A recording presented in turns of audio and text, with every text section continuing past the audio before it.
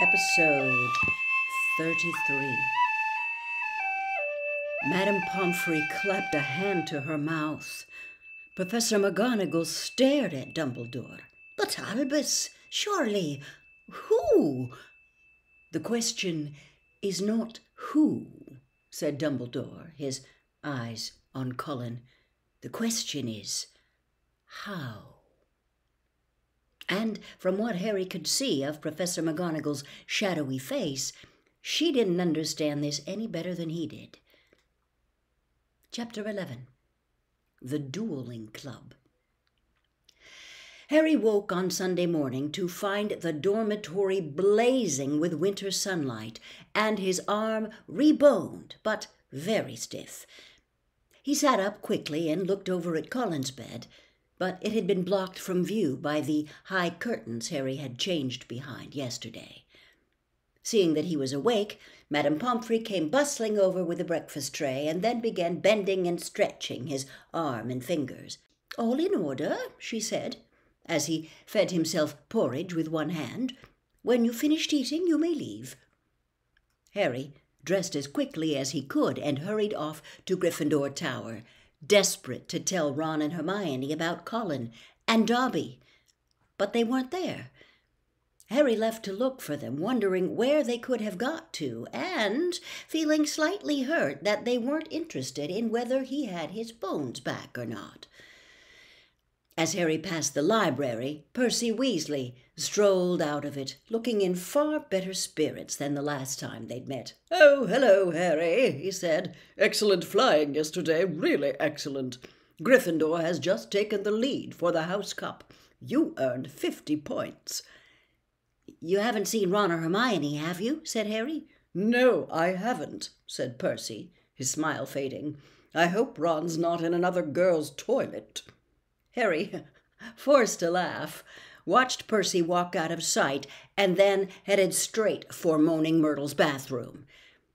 He couldn't see why Ron and Hermione would be in there again, but after making sure neither Filch nor any prefects were around, he opened the door and heard their voices coming from a locked stall. It's me, he said, closing the door behind him. There was a clunk, a splash, and a gasp from within the stall, and he saw Hermione's eye peering through the keyhole. Harry, she said, you gave us such a fright. Come in. How's your arm? Fine, said Harry, squeezing into the stall.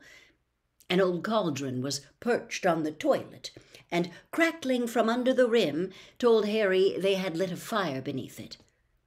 Conjuring up portable, waterproof fires was a specialty of Hermione's. We'd have come to meet you, but we decided to get started on the polyjuice potion, Ron explained, as Harry, with difficulty, locked the stall again. We decided this is the safest place to hide it. Harry started to tell them about Colin, but Hermione interrupted. We already know. We heard Professor McGonagall telling Professor Flitwick this morning. That's why we decided we'd better get going. The sooner we get a confession out of Malfoy, the better, snarled Ron. Do you know what I think? He was in such a foul temper after the Quidditch match, he took it out on Colin. There's something else, said Harry, watching Hermione tearing bundles of knot grass and throwing them into the potion. Dobby came to visit me in the middle of the night. Ron and Hermione looked up amazed.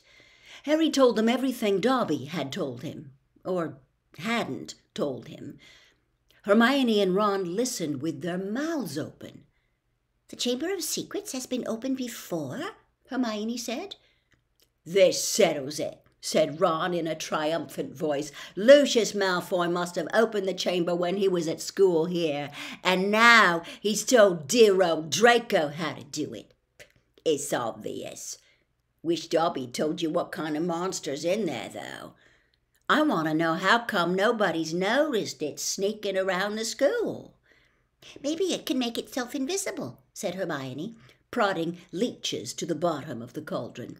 Or maybe it can disguise itself, pretend to be a suit of armor or something. I've read about chameleon ghouls.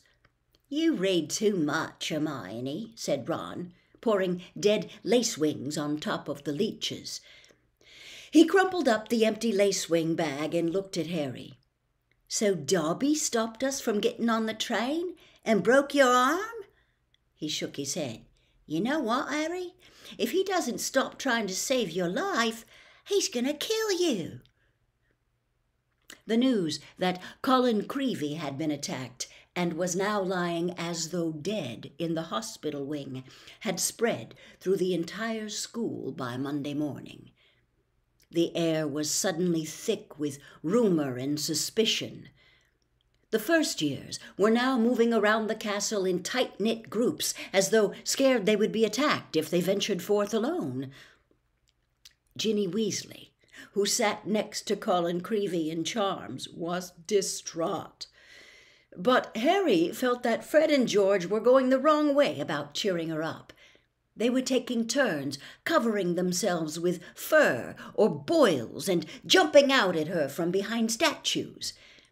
They only stopped when Percy, apoplectic with rage, told them he was going to write to Mrs. Weasley and tell her Ginny was having nightmares.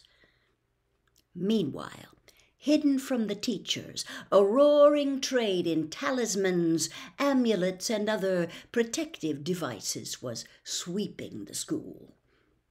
Neville Longbottom bought a large, evil smelling green onion, a pointed purple crystal, and a rotting newt tail, before the other Gryffindor boys pointed out that he was in no danger. He was a pureblood, and therefore unlikely to be attacked. They went for Filch first, Neville said, his round face fearful, and everyone knows I'm almost a squib. In the second week of December, Professor McGonagall came around as usual, collecting names of those who would be staying at school for Christmas. Harry, Ron, and Hermione signed her list. They had heard that Malfoy was staying, which struck them as very suspicious. The holidays would be the perfect time to use the polyjuice potion and try to worm a confession out of him. Unfortunately, the potion was only half finished. They still needed the bicorn horn and the boomslang skin, and the only place they were going to get them was from Snape's private stores. Harry privately felt he'd rather face Slytherin's legendary monster than let Snape catch him robbing his office. What we need, said Hermione briskly as Thursday afternoon double potions lesson loomed nearer, what we need is a diversion. Then one of us can sneak into Snape's office and take what we need. Harry and Ron looked at her nervously. I'd better do the actual stealing, Hermione continued in a matter of fact tone. You two will be expelled if you get into any more trouble, and I've got a clean record. So all you need to do is cause enough mayhem to keep Snape busy for five minutes or so. Harry smiled feebly. Deliberately causing mayhem in Snape's potions class was about as safe as poking a sleeping dragon in the eye potions lessons took place in one of the large dungeons. Thursday afternoon's lesson proceeded in the usual way. Twenty cauldrons stood steaming between the wooden desks, on which stood brass scales and jars of ingredients. Snape prowled through the fumes, making waspish remarks about the Gryffindor's work, while the Slytherins sniggered appreciatively. Draco Malfoy, who was Snape's favorite student, kept flicking pufferfish eyes at Ron and Harry, who knew that if they retaliated, they would get detention faster than you could say unfair. Harry's swelling solution was far too runny, but he had his mind on more important things.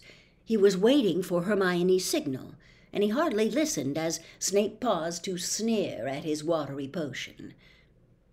When Snape turned and walked off to bully Neville, Hermione caught Harry's eye and nodded. Harry ducked swiftly down behind his cauldron, pulled one of Fred's filibuster fireworks out of his pocket, and gave it a quick prod with his wand. The firework began to fizz and sputter. Knowing he had only seconds, Harry straightened up, took aim, and lobbed it into the air. It landed right on target in Goyle's cauldron. Goyle's potion exploded, showering the whole class. People shrieked as splashes of the swelling solution hit them. Malfoy got a faceful, and his nose began to swell like a balloon. Goyle blundered around, his hands over his eyes, which had expanded to the size of a dinner plate. Snape was trying to restore calm and find out what had happened. Through the confusion, Harry saw Hermione slip quietly into Snape's office.